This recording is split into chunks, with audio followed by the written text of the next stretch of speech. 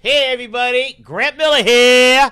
Miami Community Newspapers. I'm with Marketing Monday of Monday Marketing with Misty Buck. God, we got three M's there. Marketing. Monday, Misty. Misty. I mean, Okay. magnificent. What All right, so- throw in there? We're going to talk about Twitter. we're gonna talk about Twitter today. Okay, but I don't like bringing up politics in your conversation, but I have to. Thank you. The reason Uh-oh. Twitter is famous is or well known is because the president is big on twit. Uh, uh, what do you call it? Tweeting. Twitter.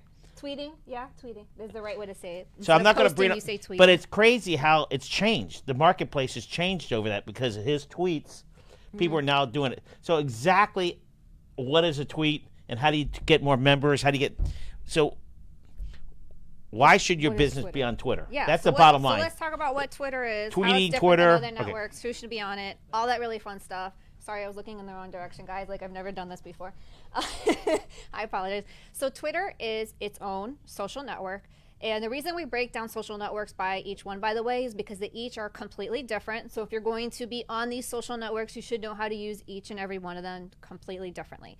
Um, Twitter is basically, it used to be 140 characters. They have expanded that. But basically, it's very short conversational posts. You can do photos, you can do videos, you can use hashtags. We'll get into all of that. But it's really more of a conversational place um, because people tweet so often. There's your you'll see your feed when you log in just like you would on Instagram or Facebook or LinkedIn or wherever else you have a feed. And you'll see what people are posting right? Those are called tweets. And they're really usually very conversational. People use it a lot to express opinions to talk about maybe what they're doing during their day.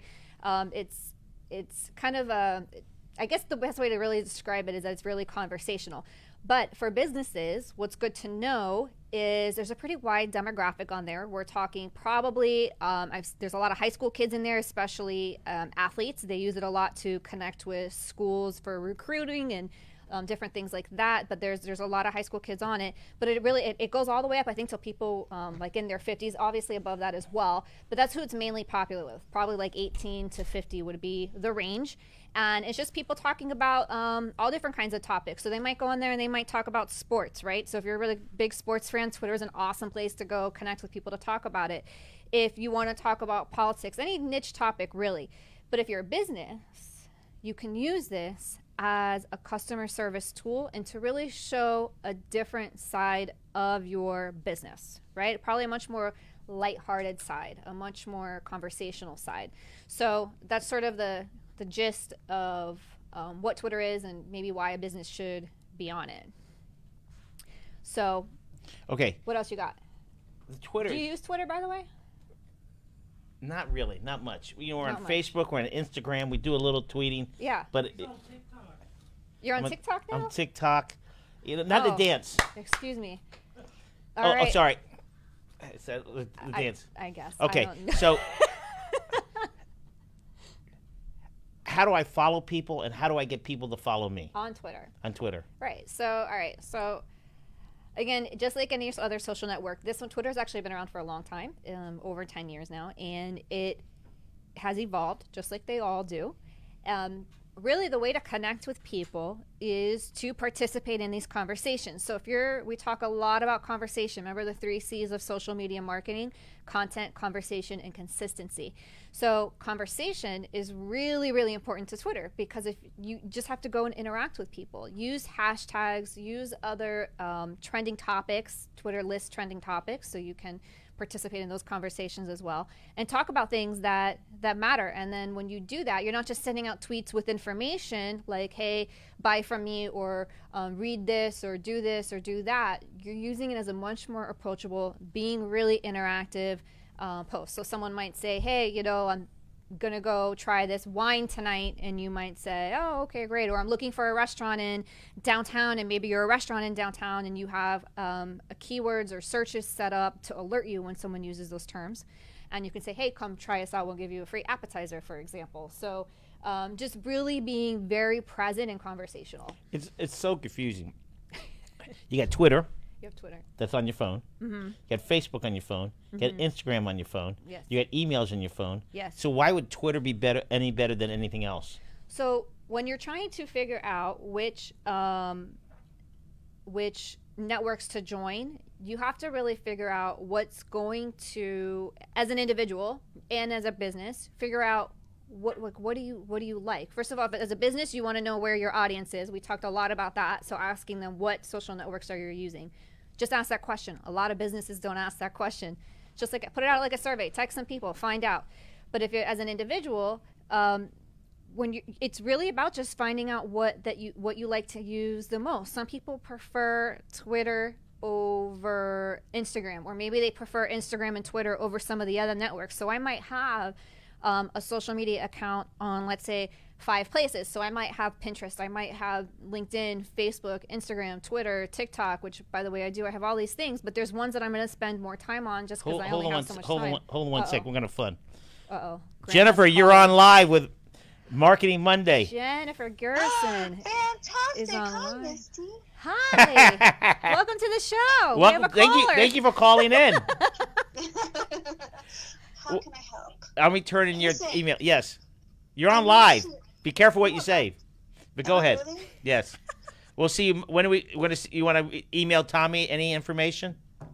Yeah, because you called um, Pam and rescheduled it. Just call me back when you're not live. Okay, you got it, Jennifer. Bye. Bye. All right. Until um. Okay. Wait, So live callers. what? What'd you I say? love it. Live callers. Live call. Live Yeah, I- callers. it's so overwhelming. What to, what to market? Why should I go on Twitter? Right. Not on. Yeah, I I think you got to do a little of everything, right? You can, but I think if you're going to be spread really thin, you put yourself at a disadvantage if you're not paying attention to it. So if you are not yourself or you haven't hired somebody to stay on top of these things for you, you don't want to spread yourself too thin. You really want to commit to what you can realistically interact with because let's say um, that you have time to really pay attention to Facebook and Twitter every day, but you don't really have time to really pay attention to, um, you know, some of these other networks, then that's okay. It doesn't mean you have to be on there. But if you're going to be on there, be active. So when you're sort of choosing that, don't feel like you have to choose everything and be everywhere. People have this fear that they're going to miss out on business, but really, the way that you're going to miss out on opportunity is if you're not being present, and you can't be present if you're spread too thin. So, So really, either make it a plan you can do, or hire somebody who Okay, can. so you, you you're I'm on your tweet. So when I go to Twitter, Uh-huh. your thing pops up on my feed, correct? Y- If you're following me, yes. Okay. Follow, follow. By the way, is the same thing as having a friend on um, Facebook or following on Instagram But- or. Okay, who who should you follow on Twitter? Yeah, that's a that's a preference, right? That's totally a preference. It depends what you're what you are into. If you're talking about as you as an individual, follow the things that you're interested in and the people that talk about things that you're interested in, um, which you can find through hashtags. Um, you'll see actually as you start to follow people, Twitter's algorithm will show you tweets from people that you don't follow, but they think maybe you'll like this because your friends have interacted with this tweet. So sometimes I'll be like, I don't follow that person, but then I'll see, oh, so and so and so and so like this tweet or retweeted this tweet, and so that's how I end up seeing it. Um, everything comes back to those stupid algorithms, Right. and ads, and oh my god, all those things. Um, So, as a business owner, I know you said, but let's go over here. What should I promote? Let's say I am a uh, a lawyer. Mm-hmm. What what should I use on the tweet Twitter, Twitter, Twitter? Twitter, Twitter. Let's be very careful with it. Our pronunciation, Twitter. So, um, if you are a law firm, you can do a variety of different things. You want, again, you want to be present, you want to be active, and you want to be conversational. So, your tone on Twitter may not be um, as corporate, for example, as it is on LinkedIn, where you may be on LinkedIn, you're giving very specific um, business tips or like I say like you're a business attorney and you're giving tips specific about incorporating businesses or contracts or stuff like or the PPP loan or stuff like that that people on on LinkedIn are there to look for. On Twitter, you might be a little bit more conversational about it, right? It might have be the same content, but you're saying things in a different um, way, more more like how you would actually speak to people. So um, I'll give like a really so there there's um, there are law firms out there that do like really they'll do really funny like behind the scenes. They can be a little snarky. Twitter's known for I think for being It- a little it's bit just more words, snarky. right? Or is it, sorry? it can be video too. It can be video too. but people mostly use it just to read very short snippets. So I don't think people watch a lot of video. I don't have the stats on it, but I don't think they watch a lot of video on Twitter. I don't think they're, you know. And how did Trump get so many followers? Well, I mean, he is the president of the United States, so he sort of like just assumes that account, and um, and people, you know, want to see what he has to say. All right, we went over the demographics used to be younger. Twitter, I think it's got older. It's getting yeah, it's it's pretty it is pretty diverse. It is pretty the latest numbers really show uh, they start around 18 and up to around 50, but I know people that are above that age range that use it actively. So People are in business that use it Yes. a lot. How do you use Twitter for customer service? Oh yeah, great question. So, um, if you'll notice, like when people have something to complain about, so um, like very often, for instance, um, like a cell phone company or an airline company, they take to Twitter to be like, hey. Um, I've been trying to contact your customer service. I'm getting an awful deal. People are saying this. My bill is wrong. Nobody can help me. Blah blah blah blah blah. And then the, the people that are paying attention to those major brands to their customer service are paying attention to that and you're going to get a response pretty quickly so um, actually a lot of these big brands even have twitter handles or twitter accounts just for customer service issues just to use it as a place to to have conversations with people so that's a really good thing if you're a brand and you're paying attention to what people are saying about you. Again, you can set up alerts and you can set up um, searches just for your business name or something like your business or a product or whatever it is, the service. You can use that and basically listen to people having those conversations. And when you see a tweet that is relevant, you have an opportunity to respond to it. And it- so it, it is a really strong customer service tool because it is so conversational. Should I link my Twitter to my other social media? And what's the advantage? What's the disadvantage? like linking it. So I never advise. I know a lot of people do this. They'll have they'll sign up for um, one account. Like let's say I have my Instagram and that's what I mainly use. Right. And then I have my Instagram. Whenever I post something there, I have it the the tabs turned on so that it automatically goes to Facebook and it automatically goes into Twitter and all these different places. Isn't that good? I advise against that. And Oh. I'm going to tell you why. Uh, because every single network is its own beast. And so, what works for hashtags and formatting and all that on Instagram is not going to work since we're using Twitter. Twitter as an example. Hashtags that are popular on Instagram are not the same hashtags that are necessarily popular on Twitter. So you might have like a national day, like I don't know, National Puppy Day. So the one that's trending on Twitter might be different than the one that's trending on Instagram, right? So you really want to pay attention to that. Secondly, um, it, people use tend to use longer form posts on Instagram. So if I have that automatically go to Twitter, it's going to get cut off. It's not going to have the same effectiveness. It's just going to be a link, really like a few words in a link, and um, it's not. It's just not going to do a nice job. All right, so we have Twitter, Facebook, Instagram. How many times should I tweet? You know, if I'm Donald Trump, I tweet 10 times a day. yeah, I tweet every five minutes. Okay, how many, if, if a retail business, how many times should I tweet in a day? Yeah, um, retail business. So again, I think it depends. You want to be relevant with your tweets, like what's you know like what's going on. So um, and then because it's conversational and everything moves much quicker, you want to post probably four to five times a day, and that can include, by the way, um, interacting with other posts. So doing um, what's called a retweet, which is where you share something that somebody has tweeted, and you can do that um, with a comment. So let's say somebody posts something and like you want to comment on that. So maybe I'm a retail store and I'm a um, a boutique and I sell. Um, I don't know, whatever it is that you sell at your boutique. If there's something trending around that, you may want to retweet it. Maybe there's a celebrity who's posted something and they're wearing something that you offer in your shop. You can retweet that. So, again, just like being active. Okay, what's, what's your feeling? The best type of business should be tweeting? I mean, is there a certain business, like do restaurants tweet? Mm-hmm. Restaurants tweet. A lot. Yeah, they do. I mean, restaurants are are uh, they use a lot of Instagram because of the visual aspect of it. So it's you know, a restaurant is very can be very visual, but it could also be you know a customer service opportunities there as well, um, where if somebody has a bad experience and they're tweeting, "Hey, I had a bad experience," or on the other side, I had a good experience, it gives you that opportunity to respond. You can also say, let's say you have a daily special, or you want to remind people of your happy hours. Um, those are those are good things that you can do also on Twitter. And you can, like, let's say um, that I'm in Brickell and I want to connect with people in Brickell. So then what am I doing? Now looking for people who are How do you in look? Brickell how, tweeting about How do you do that? How do you look for people on Twitter? It's not. You can't look for people on Twitter. It's whoever's on your on your subscribes to you. Well, you hard- can, there's search features that you can use. Now, how do I get you to follow my Twitter? Um, you can ask me.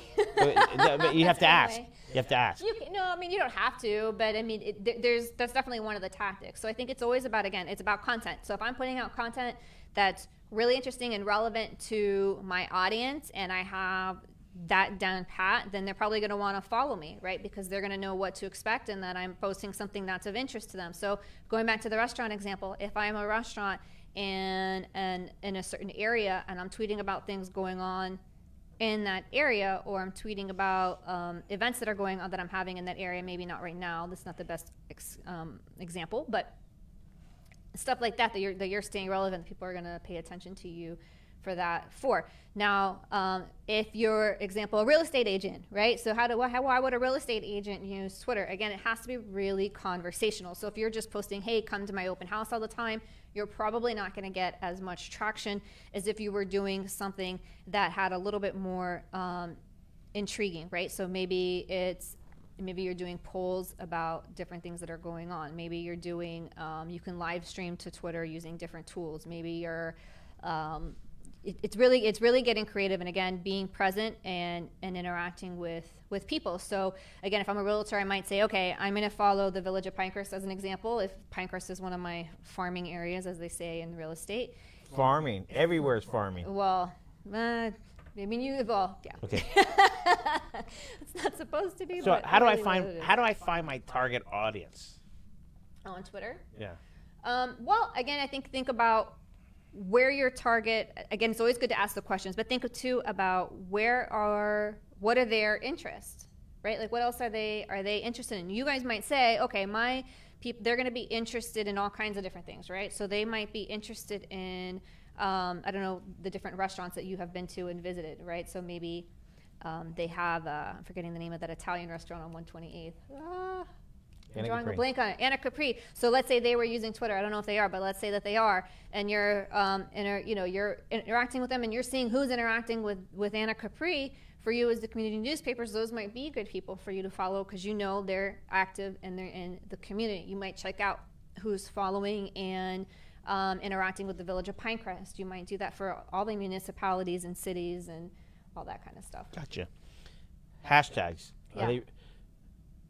Some people say they're relevant on Instagram, this and that. Are they relevant on Twitter? So they used to be extremely relevant on Twitter. So Twitter used to be you would put like six hashtags in your tweet and you were good to go. Um, But what does hashtags do? hashtag is a search feature. Essentially, that's all it is. So remember, we said Twitter is about conversation. So let's say that I want to have a conversation about a specific uh, topic, then I'll hashtag that.